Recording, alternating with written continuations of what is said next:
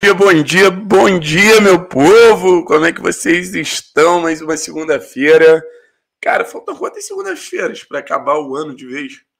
É... Olha, dia 20, dia 27, porra, penúltima segunda-feira do ano, a gente que esteve junto aí basicamente todas as segundas-feiras.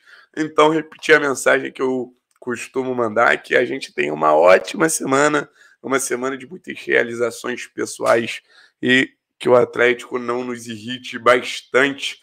E uma situação que pode se resolver ao longo da semana. Se você quer mais detalhes, você vai estar lá no grupo do Mercado da Bola. É uma apuração que a gente já já botou uma informaçãozinha ontem e tudo mais, então a gente está de olho, tentando falar com. Estou com uma espinha aqui grande.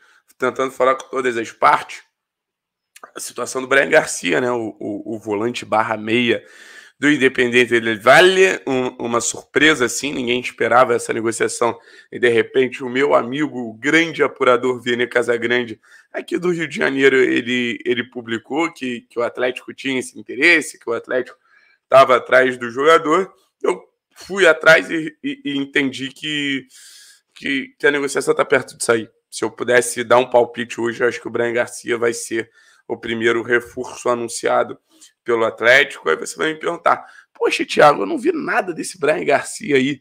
Será que ele é bom jogador mesmo? Será que vale a pena fazer um, investimento considerável num jogador como esse, que, que vem de uma liga menor? É um jogador que ninguém nunca viu com tanta evidência, afinal, não é nem tão titular da equipe, né? É um ponto a se levando em consideração. Jogou basicamente ali metade dos jogos do Del Valle na temporada, em jogos relevantes entrou ao longo da partida, em outros começou o jogo, em outros meteu até gol no, no, no duelo contra a LDU, né, que são os dois principais times do futebol equatoriano.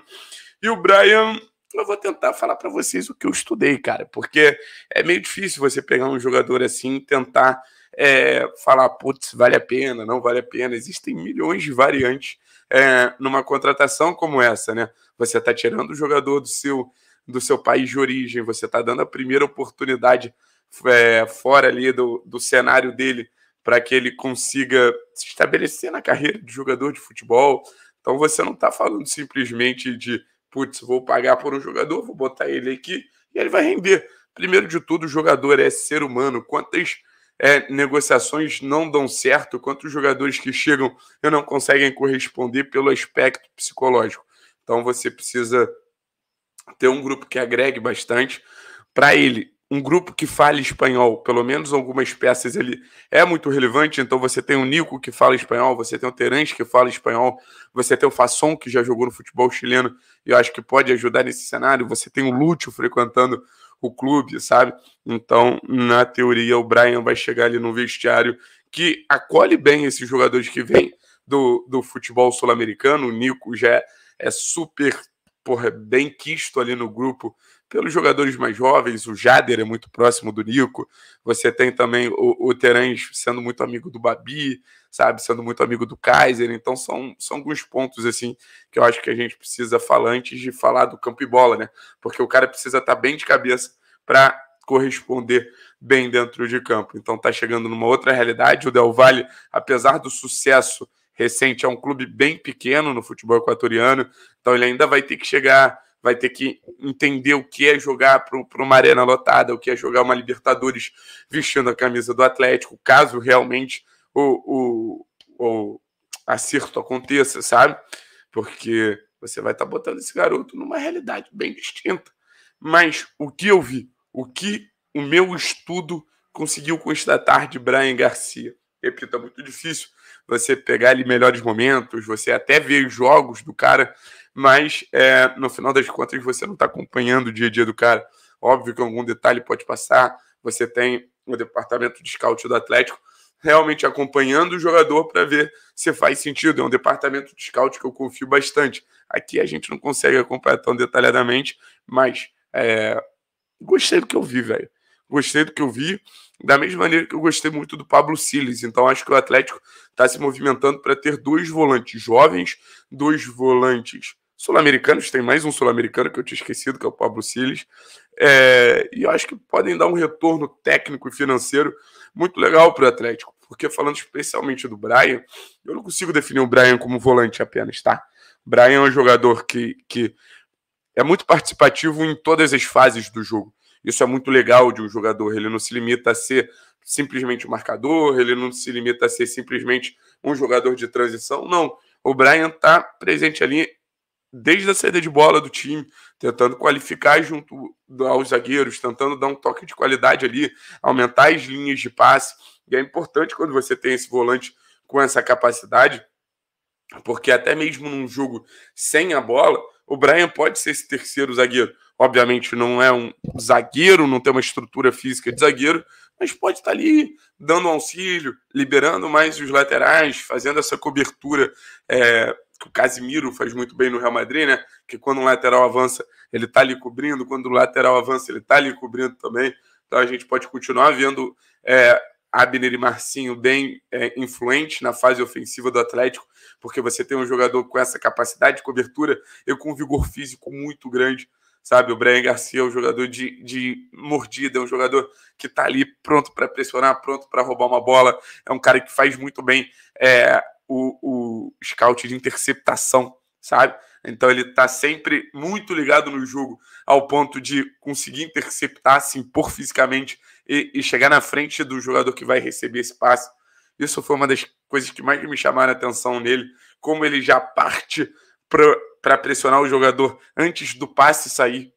Sabe? Porque, explicando um negocinho de futebol para vocês, por exemplo, o Christian é um jogador que faz isso muito mal jogador A do time adversário, jogador B do time adversário, jogador C do nosso time. Pode ser o Christian aqui. Quando esse jogador dá o passe, você já tem que ter esse marcador aqui vindo pressionar esse aqui.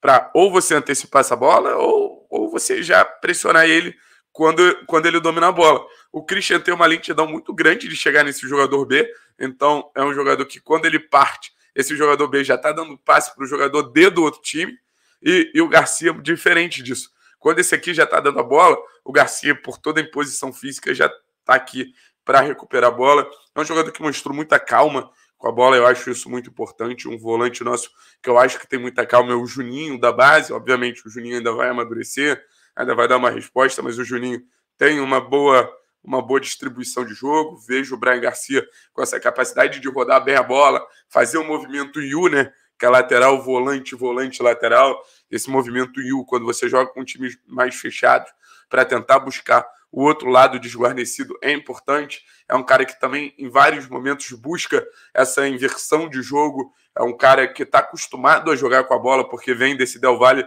do Renato Paiva, que teve um início um pouquinho mais conturbado, mas é um jogador também que participou de um time que gosta de ficar com a bola, um time que é realmente ofensivo.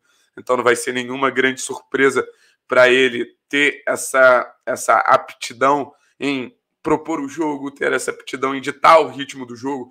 Em vários momentos, lido muito bem sendo um ritmista, tá ligado? Um ponto a ser levado em consideração também, que a todo momento cai para o lado direito.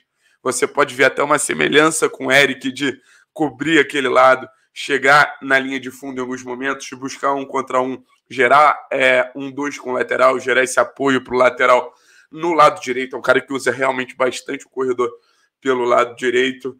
Tem uma finalização razoável de média a longa distância, pressiona na saída de bola do adversário muito bem, sabe? Então a gente está falando de um jogador que obviamente tem qualidade. A gente vai entender os defeitos dele de maneira mais clara quando ele tiver vestindo a camisa do Atlético, se ele realmente vestir a camisa do Atlético, mas eu sempre vou comemorar enquanto o Atlético for atrás desse tipo de jogador, jogador jovem, jogador que vem de um mercado que cresce absurdamente, que é o mercado equatoriano, um mercado que naturalmente o futebol brasileiro vai olhar cada vez com mais carinho. Então, expectativa muito grande de ver o Brian Garcia vestindo a camisa do Atlético. Não vou passar os detalhes da negociação aqui, porque vai estar lá no grupo do mercado da bola. No final das contas, a gente vai no final das contas a gente vai ver é, cada vez mais esse tipo de jogador chegando, da mesma maneira do Fasson, da mesma maneira de Donico, sabe? São jogadores que vieram do mercado sul-americano e vai ser um início, né? Eu acredito que vai ser o primeiro reforço, vai ser o início da gente ver essas movimentações de mercado do Atlético ao ponto de cada vez ter um elenco mais capaz de aguentar uma temporada cheia, um elenco cada vez mais capaz de aguentar todo esse cenário de, porra, Libertadores, Recopa, Paranaense, Campeonato Brasileiro, Copa do Brasil. Essa temporada a gente teve, ó, essa temporada, Copa do Brasil, Sul-Americana, Paranaense, Brasileirão, quatro competições. Temporada que vem a gente já tem cinco. A gente tem Recopa, a gente tem Paranaense, a gente tem Libertadores, a gente tem Copa do Brasil, a gente tem Brasileiro. Pode ter seis, né? Pode ter Mundial, quem sabe aí não, não é o ano do, do, do Mundial 2022. Pode antecipar dois aninhos aí, Petralha. A gente não se incomoda em absolutamente nada, rapaziada. Então é isso. Um, um vídeo inicial falando sobre o Brian Garcia. Se fechar, a gente traz um vídeo mais detalhado, ilustrando tudo isso que a gente falou, mas se eu pudesse fazer um resumo. Jogador que distribui muito bem a bola, se comporta muito bem com a bola, ocupa bem aquele lado direito, é um jogador que pressiona bem, então tem uma capacidade de interceptação e desarme grande, é um jogador que consegue tirar a bola da pressão fácil, inverter jogo, buscar o outro lado, né? E, e, e, acho que é isso. Não sei se eu estou esquecendo de alguma característica mais marcante, mas qualquer coisa eu reforço aí para vocês ao longo das lives, beleza? Tamo junto a nós, rapaziada. Obrigado pela moral de sempre. Uma ótima semana para todos aí. E vambora, vambora, vambora. Que segunda-feira é o dia. Abraço.